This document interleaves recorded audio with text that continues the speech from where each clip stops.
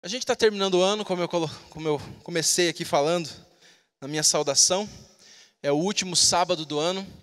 Eu não sei como que você passa esses últimos dias, o começo do ano, mas geralmente eu gosto de aí refletir um pouquinho sobre o que, que aconteceu no ano que passou, pensar um pouquinho nos planos para o próximo ano, fazer aí uma lista de promessas, algumas que a gente não consegue né, cumprir faz ali uma lista de desejos, objetivos, um planejamento.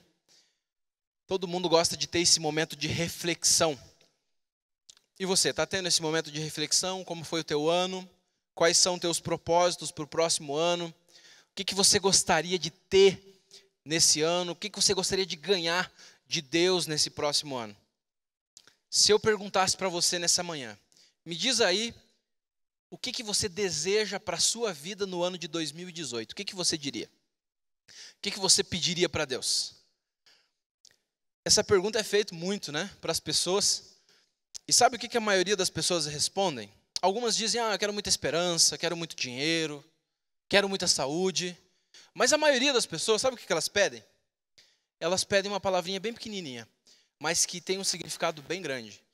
Elas pedem paz. Você já percebeu isso? O que você quer para 2018? As pessoas dizem muita paz. Você gostaria de ter muita paz em 2018? Na verdade, tem gente até que se veste de branco para esperar o ano novo, não é assim? Tá lá naquela viradinha do ano, no Réveillon, bota uma camiseta branca, uma roupa branca, para chamar o quê? Muita paz. Tem gente que faz isso. As pessoas querem paz. Afinal de contas, a gente vive num mundo atribulado, cheio de conflitos. E quando as pessoas pedem paz, o que que o que está por detrás dessa palavra? O que que significa paz na concepção geral das pessoas? Bom, quando as pessoas pedem paz, elas estão na verdade pedindo o quê? A ausência de conflitos, a ausência de problemas. O que, que você acha de ter um ano de 2018 sem conflito, sem problema? Seria legal? Elas também estão pensando em tranquilidade, uma vida tranquila, mansa, serena. Estabilidade está por trás da palavra paz, ter uma vida estável. Prosperidade também tá, está por trás da palavra paz. Saúde, enfim, felicidade. Paz abrange tudo isso. Você gostaria de ter muita paz em 2018? Jesus tem algo ainda melhor para oferecer para nós. E ele promete, ele faz uma promessa bem legal lá em João 14, verso 27. Vamos abrir a Bíblia? João 14, verso 27.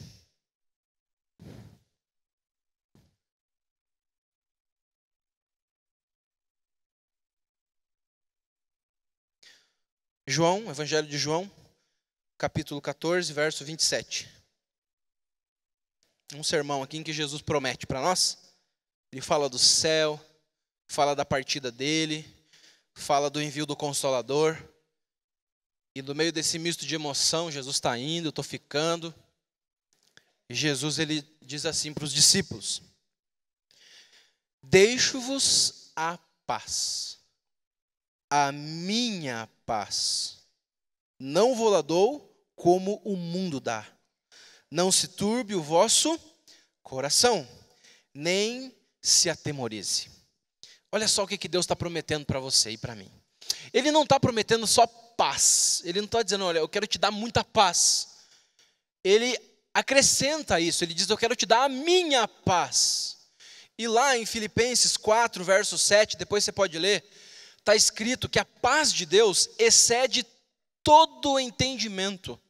Ou seja, ela é muito mais profunda, ela é muito maior, ela é muito melhor do que a paz que esse mundo tanto almeja. E Deus diz assim, acrescentando outro detalhe: E eu não dou a minha paz como o mundo dá. É uma paz diferente. É uma paz mais completa. É algo assim, sabe, que preenche, que nos leva à plenitude. Essa é a paz que Deus nos quer dar. Você gostaria de ter para 2018 não só paz, mas a paz de Deus? Sim ou não? Almeja isso para a sua vida? O que, que você acha desse presente que Deus tem para oferecer? Desse item que Deus quer colocar na tua lista de presentes. Bom, nessa manhã eu quero falar um pouquinho sobre essa paz, a paz de Deus, a shalom de Deus. O que é a paz de Deus? O que é a shalom de Deus? É uma paz diferente, mais profunda? Se é uma paz que Deus dá não como o mundo dá, aí está em oposição a que o mundo busca. Que paz é essa que Deus tem para me oferecer? E aí, como eu faço para experimentar essa paz? Como é que eu posso me apossar, tomar posse dessa paz que Deus me oferece? Como? Bom, é sobre isso que a gente vai falar nessa manhã. É, para responder essas duas perguntas que nós vamos buscar aí, uma história bíblica que eu contei um pedaço dela na, na história das crianças, mas a gente vai ver o outro pedaço agora, uma, um outro ângulo dessa história, a história de Gideão. Por isso, abra sua Bíblia em Juízes, capítulo 6, versículo 19 até o versículo 24. Nós vamos ler esse pedacinho aqui. E depois vamos relembrar de algumas outras partes também da história de Gideão.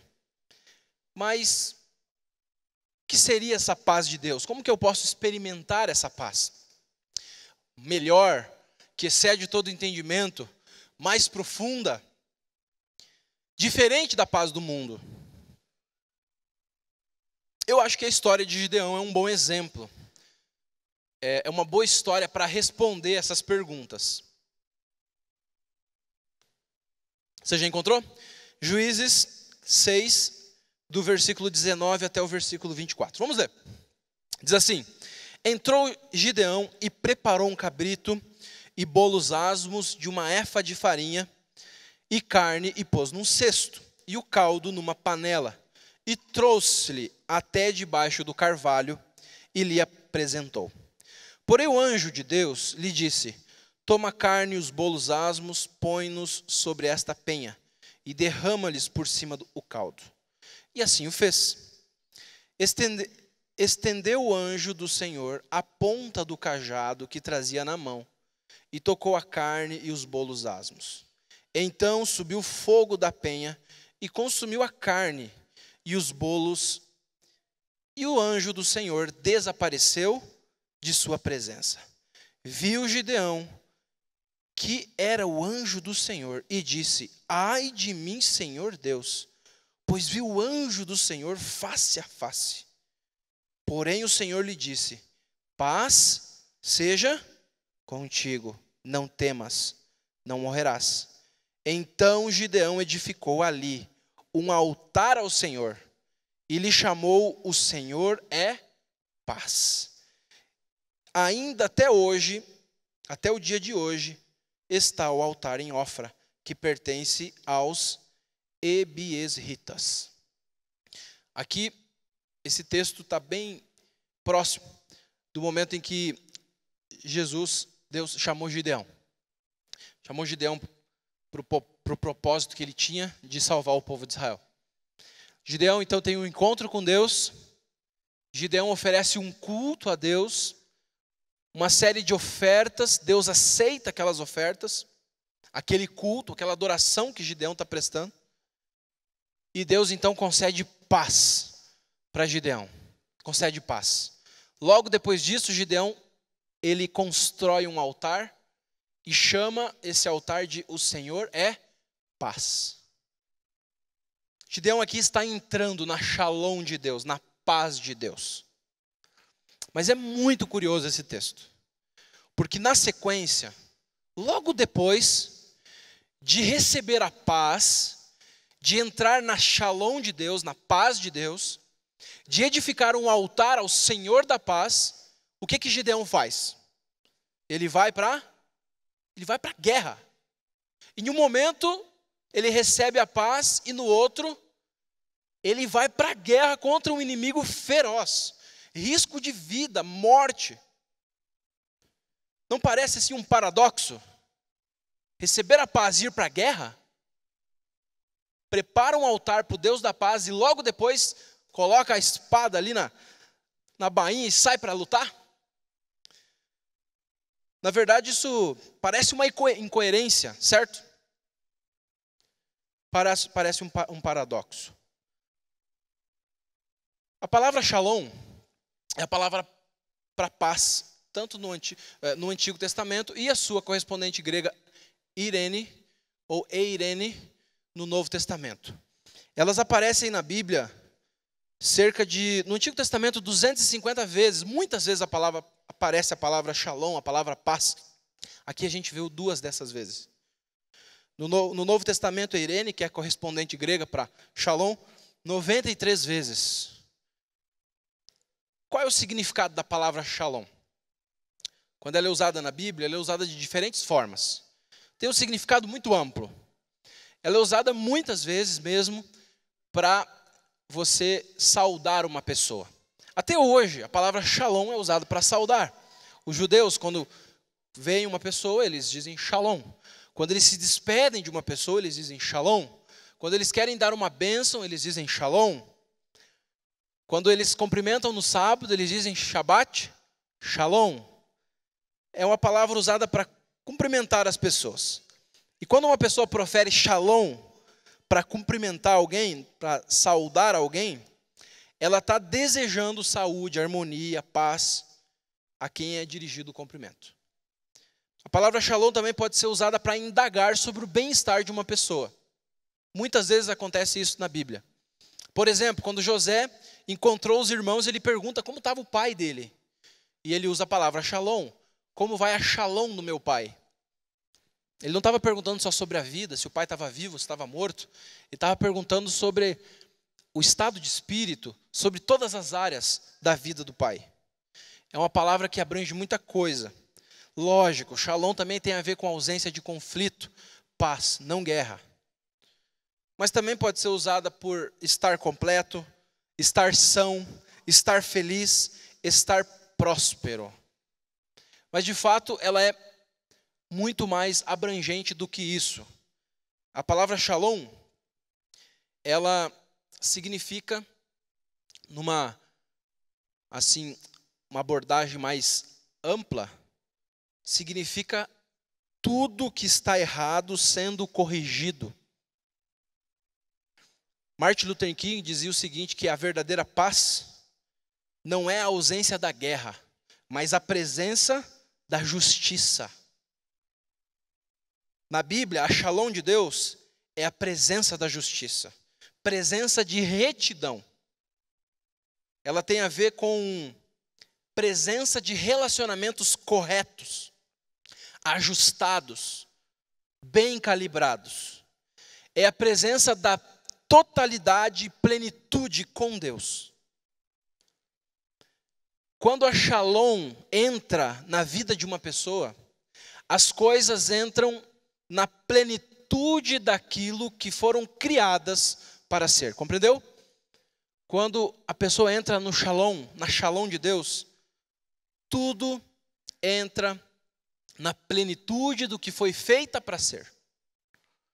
Na verdade, Todos nós nascemos com um propósito. Lá em Salmo 139, 16 e 17, diz que no nosso nascimento, quando a gente estava nascendo, antes disso, antes mesmo disso, quando ainda era uma substância informe, Deus olhou e disse: Olha, eu tenho um plano para você. E escreveu todos os dias da nossa vida num livro. Deus ele olha para cada pessoa de forma única e coloca propósitos na vida daquela pessoa. Deus criou a gente sabe, com um significado. Não criou a gente para ser mais um, para ser alguém que apenas sobrevive, que vive aí nesse mundo. Ele criou a gente para ser alguém que leva transformação, que faz diferença, que tem propósito na vida. Colocou ali características, colocou é, alguns elementos para um fim, para um propósito, para um objetivo, para um chamado maior. Deus fez a gente assim. É lógico que o mundo e Satanás, ele cria aí muitas artimanhas e descaminhos para nos tornar mesquinhos. O que é mesquinho? Para fazer a gente viver uma vidinha assim, fechada, pequena. E para afastar a gente desse propósito de Deus. Para afastar a gente dessa plenitude que Deus tem para nós. Daquilo que ele fez para nós sermos. Entende? E Satanás, com suas muitas artimanhas e mecanismos, pensamentos, ideologias, caminhos, tentações, ele vai desencaminhando a nossa vida do ideal de Deus para nós e vai tornando a gente mesquinhos. Leva a gente, na verdade, para dois extremos. De um lado, ele leva a gente para a área da insegurança e do medo, que é aquela área do não posso, não consigo, sou muito pequeno, não tenho talento, minha família é muito simples, sou pobre, vim do interior, não tenho estudo. É aquela vida, sabe, mínima, apenas pela sobrevivência, modo de sobrevivência. Esse é um extremo que ele leva. É o extremo do medo e da insegurança. Mas ele também leva para o outro extremo, que é o extremo da arrogância, da autossuficiência, daquela vida centrada no egoísmo, no orgulho, centrado na, nas coisas terrenas, em construir uma carreira, sucesso, dinheiro, posses, uma vida centrada em si, naquilo que se, lhe traz satisfação. Muita gente vai para esse extremo, que também é uma vida mesquinha, uma vida pequena, limitada, curta. O inimigo tenta levar a gente para esses extremos, mas Deus tem uma, um propósito, um significado para a nossa existência. Tem algo grande para fazer através de nós, por nós, em nós. Mas infelizmente, ao passar dos anos, nossas más escolhas, tropeços, fracassos, pecados, nós acabamos desalinhando nossa vida em, em relação ao ideal de Deus, entende? A gente, Deus tem um ideal aqui, ó, e a gente vai desalinhando, vai indo longe daquilo que Deus tem para nós e acaba caindo na mesquinhez. Percebe? A shalom de Deus é corrigir o que está errado é a presença da justiça, é viver a plenitude daquilo que Deus fez para a gente viver. Com a shalom de Deus, estamos prontos para qualquer batalha, para qualquer luta. Para viver nesse mundo cheio de conflito e viver não apenas felizes, mas plenos, no nosso máximo potencial de felicidade, de alegria. Mas como eu faço para entrar na shalom de Deus? Para experimentar essa paz de Deus, essa plenitude de Deus. Bom, vamos ver como isso aconteceu na vida de, de Gideão, certo? Gideão, aqui na história, ele precisava de uma consulta de quiropraxia com Deus. Ele, na verdade, estava precisando de alguns ajustes de postura, um alinhamento, realinhamento de concepções. Ele precisava colocar algumas coisas no lugar tinha se desencaminhado, Satanás tinha levado ele para a mesquinhez. Ele precisava desse ajuste de postura antes de ir para a batalha e para ser um vencedor, para viver o máximo potencial que Deus tinha para ele, entende? Agora observe como que Gideão está quando Deus encontra ele. Você vai ali na história, e quando Deus chega para chamar Gideão, ele está lá escondido dos inimigos, dos midianitas, malhando o triguinho dele, pelo menos para conseguir sobreviver. Cheio de insegurança, escondido atrás de uma vida mesquinha, vivendo só para ele. Amargurado com a situação que o povo estava, que o mundo estava passando. Parecia que Deus tinha abandonado Israel, estava ali até meio chateado com Deus. Quando Deus chega para Gideão, Gideão diz: Ai, meu Senhor, que é aquela expressão assim: não acredito, eu não sou a pessoa certa, acho que o senhor errou a pessoa. Gideão duvida de tudo. Quando Deus diz, não é Gideão, é você que eu quero mesmo. Ele fala, não pode ser, Senhor. Eu sou o menor da minha família. Aquele disco repetido, sabe? Ele começa a tocar aquele disco. Eu sou o menor da minha família, a minha família é a menor da, da, da tribo, a minha tribo é a menor de Israel, o nosso povo é muito pequeno, fraco aquele disco do não posso, não consigo, aquela vida, sabe, presa numa visão errada de si mesmo e de tudo. Na verdade, nós nos encontramos muitas vezes assim também. Essa é a área em que Deus nos encontra. Essa é a área que a gente acaba caindo também. Essa é a área onde a gente fica muitas vezes. a área da insegurança, do medo. Como você respondeu aos chamados que Deus fez para você no ano de 2018? Deus faz muitos chamados para nós. Deus incomoda o nosso coração. Eu tenho certeza que Ele incomoda, incomodou teu coração em alguns momentos. Deus chamou você para fazer algumas coisas. Usou uma pessoa, usou uma mensagem, uma pregação, alguém. Deus colocou uma realidade assim e disse: Eu preciso fazer algo para mudar isso. Deus colocou alguns chamados na tua vida também. Mas como você respondeu a esses chamados? Como você respondeu? É muito comum a gente se esconder também. Eu não posso, eu não consigo. Ah, Senhor, eu não sou a pessoa certa. Não dá. A gente costuma usar aquela língua do entrave, né? Não, não posso, não consigo, não sei, não dá. Agora não. A língua do entrave. Veja, Deus não nos fez para sermos murmuradores e vítimas, que ficam aí se escondendo em um canto.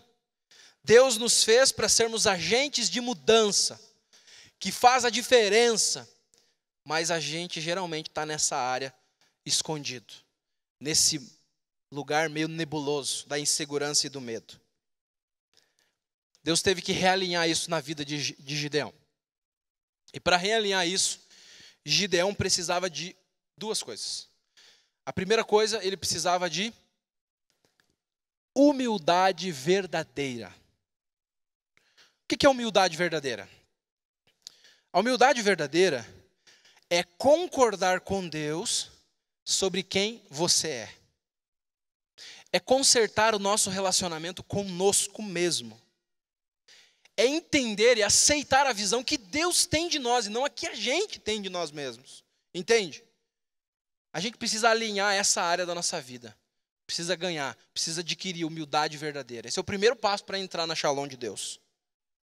Na verdade, todos nós somos maus. Não tem ninguém aqui que é bonzinho, 100% bom. Todo mundo é terrível, pecador, impuro, cheio de pecados. Mas quando você vai para a Bíblia, você vai perceber que antes do mal entrar, antes do pecado entrar, Deus nos fez como? Deus nos fez bons. Ele colocou em nós a sua imagem e semelhança, tá certo? Depois o mal entrou, desencaminhou a gente, levou a gente para o pecado. Mas ainda existe algo de bom? Existe algo de bom no ser humano? Sim ou não?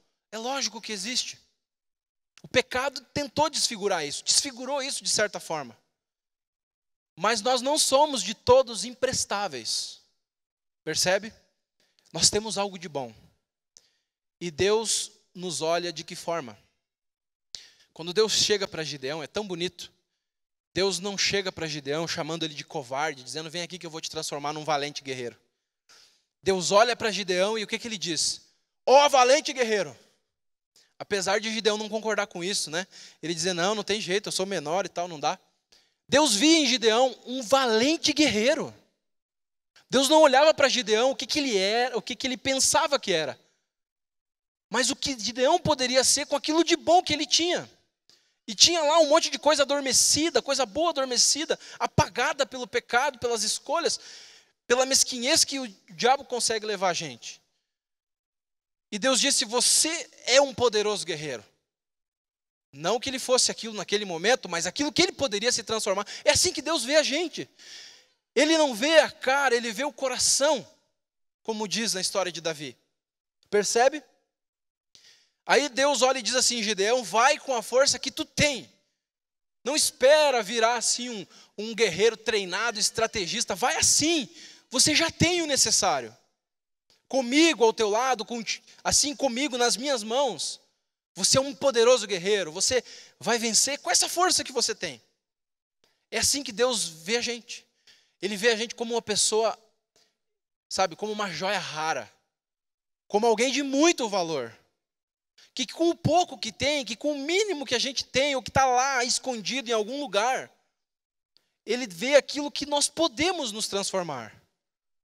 Essa é a visão de Deus para nós. Isso é humildade verdadeira.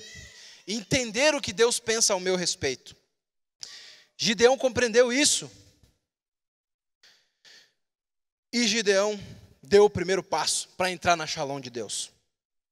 Com essa compreensão ajustada, nós damos o primeiro passo para entrar na paz de Deus, na shalom de Deus, para viver a plenitude do que Deus fez nós para vivermos. Mas ainda faltava um segundo passo. Uma segunda coisa, Gideão precisava alinhar algumas coisas mais. Depois, Gideão vai lá, faz o sacrifício, encontra a paz, mas ele percebe que tem algo mais a ser realinhado, algo mais a ser colocado no eixo, algo mais a ser colocado em retidão para que ele pudesse entrar na paz de Deus completa. Observe o que acontece com Gideão após ele dar o primeiro passo em direção à paz de Deus. Gideão percebe que ele precisa de mais ajustes. Logo depois do sacrifício que a gente leu, do encontro com Deus que a gente leu, Gideão sai e destrói o altar de Baal que tinha na casa dele. Ele faz uma reforma espiritual. Ele derruba aquilo que está na frente de Deus para colocar Deus em primeiro lugar. Gideão obedece à ordem de Deus e destrói aquele altar. Logo em seguida, ele pede um sinal, depois pede outro sinal, para ter certeza de que Deus vai estar junto. Mais à frente, Gideão então é testado por Deus e obedece, mesmo mandando quase todo o seu exército embora e ficando apenas com 300 homens, um para 450 midianitas. E mesmo nessa área de insegurança, nessa área de risco, ele é fiel. E ele vai. Para entrar na shalom de Deus, para experimentar a paz de Deus, nós precisamos de uma segunda coisa. A gente precisa aprender a dependência verdadeira. Dependência verdadeira. Precisamos aprender a sermos dependentes de verdade de Deus. Dando esse segundo passo, a gente entra na shalom de Deus. Dependência verdadeira o que é? É concordar com Deus sobre quem Ele é. É consertar nosso relacionamento com Deus. É compreender quem Deus é e se entregar a Ele como a única coisa que vale a pena nessa vida. Como a única coisa que vale a pena nessa vida. Se Deus é tão grande, se Deus é tão maravilhoso, o Rei poderoso do universo, o Criador de tudo, e nos ama tão profundamente a ponto de dar o seu filho por nós na cruz, quem somos nós para não nos entregar a Ele como a única coisa preciosa dessa vida? Certo? Quando Gideão ali ele pede um sinal, quando ele está pedindo um sinal para Deus, lembra? Ele pede para a lã ficar seca, depois pede para a lã molhar. Ele pede ali uns dois, três sinais para Deus. Ele não está brincando com Deus. Ele não está assim colocando Deus, é, sabe, testando Deus. Na verdade, Gideão ele está criando uma bolsa de dependência. O que, que é isso? Bolsa de dependência é uma situação onde, pela fé, eu me coloco sobre risco real é onde eu posso ver Deus agindo, trabalhando claramente. Ele queria ter certeza de que Deus estaria com ele, ele queria ver Deus agindo, agindo de forma sobrenatural. Ele queria perceber Deus ali de forma real na vida dele. Ele disse: Senhor, eu quero te sentir, eu quero ter uma experiência contigo. Ele está dizendo: Senhor, apareça na minha vida. Logo à frente, Gideão vai para a batalha somente com 300 homens. E ele dá uma prova de fé, ele ousa. Pensa, gente, um soldado para cada 450. Ele ousou, ele arriscou, ele se colocou em risco. Ele dependeu inteiramente de Deus. Ele criou uma situação e enfrentou, entrou naquela situação sem medo. É verdade que frequentemente a gente acaricia pecados e a gente coloca muita coisa na frente de Deus, se apoia em muita coisa, numa segurança humana. A gente gosta da área de conforto, da área segura. A gente não gosta de arriscar com Deus. A gente não gosta de ousar, de sonhar grande, de depender de Deus de verdade, como Gideão fez. Nós gostamos da área de segurança. E é fácil nessa vida nessa busca de segurança, a gente entrar na roda da vida e ficar meio em cima do muro, sabe? Uma vida de faz de conta, de cristão de faz de conta. Venho à igreja, tenho as minhas devoções, é a minha vida espiritual final de semana. Mas durante a semana, ah, e a minha vida, meu trabalho, minhas coisas, minha vida secular. E a gente divide nossa vida em duas, colocando Deus num canto apenas. É fácil isso acontecer. Mas a shalom de Deus ela é mais do que isso. Ela exige dependência verdadeira, entrega total à verdade, aquilo que Deus ele nos chama. Se Deus é o rei do universo e me ama de forma tão maravilhosa, a ponto de se entregar por mim na cruz, eu não posso ignorar isso. Eu tenho que me entregar intensamente a Deus. Preciso me colocar onde Deus age, criar bolsas de dependência, se colocar no risco, ousar por Deus. No trabalho, na faculdade, na minha vida cotidiana, eu tenho que levar Deus para todas as áreas da vida e de fato assumir um compromisso com Ele, de dependência, mesmo que isso exija e que me coloque no risco. Isso é entrar na shalom de Deus. É nessa área que eu vou viver a plenitude daquilo que Deus tem para mim. Eu estava vendo uma história de uma pessoa que ousou entrar na shalom de Deus, que se entregou totalmente em humildade verdadeira, em dependência verdadeira, e que viveu uma vida com propósito, com significado. Esse homem é vivo ainda, ele vive na Alemanha hoje e faz parte de uma organização que tem o propósito de plantar igrejas entre a China e Israel. E a organização que ele lidera já plantou mais de duas mil igrejas. É uma pessoa normal, uma pessoa comum. O nome dele, que as pessoas chamam ele, é Irmão Yun. Ele nasceu na China em 1958, numa província bem pequena, chamada Henan. E conheceu a Jesus quando tinha 16 anos, era um jovenzinho. Numa época que o pai estava com câncer, que a família quase não tinha o que comer, passando fome, ele descobriu Jesus. Ele entregou a vida dele a Jesus de uma forma muito poderosa. Nunca foi à escola, não tinha instrução, não sabia falar direito, tímido, e vivendo num país super fechado ao evangelho. Naquela época, cristãos eram perseguidos, ainda são, ainda hoje. Eram mortos, colocados em prisões, Viver o cristianismo era algo perigoso, quem dirá ser um pregador do evangelho, quem dirá converter pessoas. Mas ele sentiu um chamado profundo para levar o evangelho para o país dele. Ele não tinha muitas condições, mas ele entendia que nas mãos de Deus ele poderia se tornar grande, ser uma bênção para o país dele, ser um agente de transformação, de mudança. E ele se entregou ao chamado, ele entendeu a visão de Deus, ele alinhou a visão de Deus sobre ele mesmo e disse: Quer saber? Eu vou, porque Deus colocou em mim talentos, dons, Deus está me chamando e com ele eu posso ser. Talvez eu não sou, mas eu posso ser. E ele se transformou num pregador lá no país dele, na China. Converteu milhares de pessoas, mas a polícia perseguia ele. E ele foi preso nada mais, nada menos do que 30 vezes na vida dele. Quatro dessas vezes foram períodos muito extensos. Em uma das, dessas três vezes, quatro, dessas quatro vezes em que ele foi preso por um longo período de tempo, ele ficou 74 dias sem comida e sem água. Para a medicina, isso é impossível. Uma pessoa ficar sem comer 74 dias e sem beber água. Como pode? Mas Deus sustentou ele de forma milagrosa. Em outra ocasião, preso, ele foi colocado em uma prisão de segurança máxima em Zhangzhou. O guarda bateu nele tanto, tanto, tanto, que quebrou as pernas dele.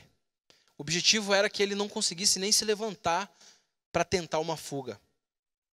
Algum tempo depois, milagrosamente, as portas da cela dele se abriram, as trancas de ferro se abriram e ele passou. Quando ele percebeu, ele já estava fora do presídio livre. Parece que ele ficou invisível para os guardas. Parece uma história da Bíblia, né? História de Pedro. Quando ele chegou lá fora, ele percebeu que, tá, que tinha caminhado todo aquele período com as pernas quebradas, com as duas pernas quebradas. Não sei como, mas Deus livrou ele. Milagre. Hoje ele se dedica, depois que ele conseguiu escapar da China, a plantar igrejas. Uma pessoa que se colocou na área de risco. Uma pessoa que entendeu a visão de Deus sobre ele e aceitou o chamado. Uma pessoa que entendeu a visão de Deus sobre Deus. Deus é grande. E com Ele não há prisão que me segure. Com Ele não há risco que me coloque medo. Com Deus eu posso ousar fazer coisas grandes. Ele entrou na Shalom de Deus e viveu uma vida com significado. Efésios 6, verso 15 diz assim: calçai os pés com o evangelho da paz. A Bíblia nos desafia a entrar na shalom de Deus, a entrar nessa área da plenitude de Deus, daquilo que Ele criou para nós sermos. Estar na shalom de Deus, ter a paz de Deus, repetindo, é estar em correta relação com Deus, é viver a plenitude do que Deus tem para a nossa existência. E viver assim só é possível com duas coisas: humildade verdadeira, alinhar o que Deus, o que eu penso de mim com o que Deus pensa de mim. E Deus me tem em alta, viu? Deus olha para mim como uma joia rara. Deus olha para mim como alguém que tem um propósito. E ter dependência verdadeira, que é saber o tamanho do nosso Deus e não viver uma vida mesquinha, mas uma vida de dependência, de assumir riscos por Jesus, de ousar, de querer coisas grandes. O que, que você acha? De conversar com Deus para esse ano de 2018, conversar, sabe, profundamente com Deus sobre o seu chamado. Qual é o meu propósito, Senhor? Para que, que o Senhor me criou? Talvez alguém já descobriu o seu propósito e está tá vivendo ele, mas quem sabe você sente que está vivendo uma vida limitada. Sabe? Centrada na insegurança, no medo, em ficar num cantinho apagado. Ou uma vida mesquinha de viver só para si, pensando só em si. Quem sabe para 2018 você poderia dizer: Eu quero paz, eu quero a shalom de Deus. Eu quero me colocar nessa área, viver a plenitude do que Deus tem para mim. O que, que você acha? Deus olha para você com uma, como uma joia rara. E Deus te criou para ser diferença, para fazer diferença, para ser um agente de mudança. Para usar. Para dizer: Senhor, eu quero viver uma vida de dependência, de intensa entrega, de submissão. Gideão fez isso e libertou o povo de Israel com 300 homens. Gravou o nome na história. Deus quer gravar o seu nome também. Quantos aqui gostariam de viver na shalom de Deus? Gostariam de shalom de Deus? Olha, eu estremeci daqui, viu? Porque se todos nós entrarmos na shalom de Deus, que, que vai acontecer com Curitiba? O que, que vai acontecer com o Brasil? O que, que a gente vai fazer com esse mundo?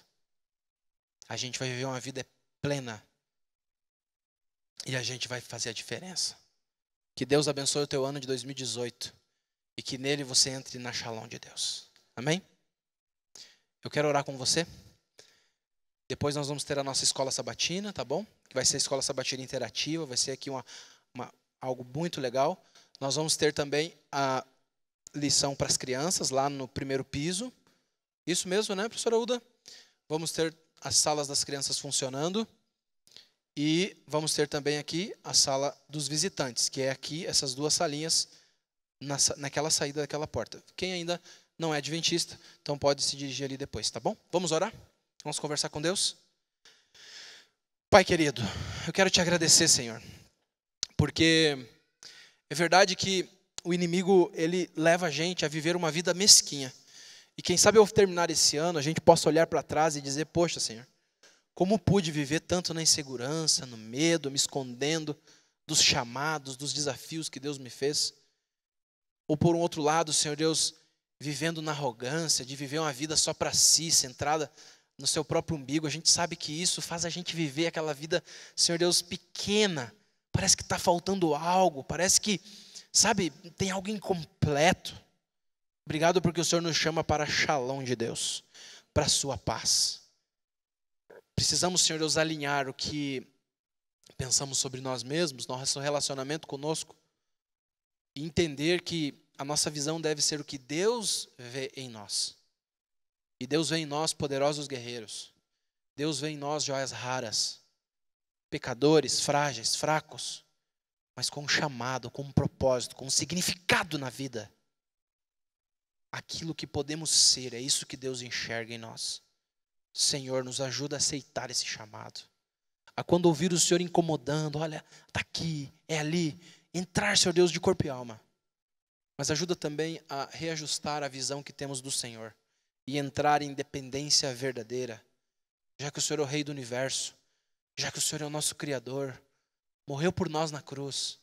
Não tem como, Senhor Deus, a gente se esconder, a gente tem que se entregar e viver uma vida de dependência assumir esse compromisso de discípulo de Jesus e levar o Senhor para todas as áreas da vida, assumir riscos pelo Senhor, entrar, Senhor Deus, nas, nas bolsas de dependência, onde não temos outra saída a não ser Jesus, e vivermos uma vida de significado. Por favor, Senhor Deus, que esse seja o ano de 2018 para nós.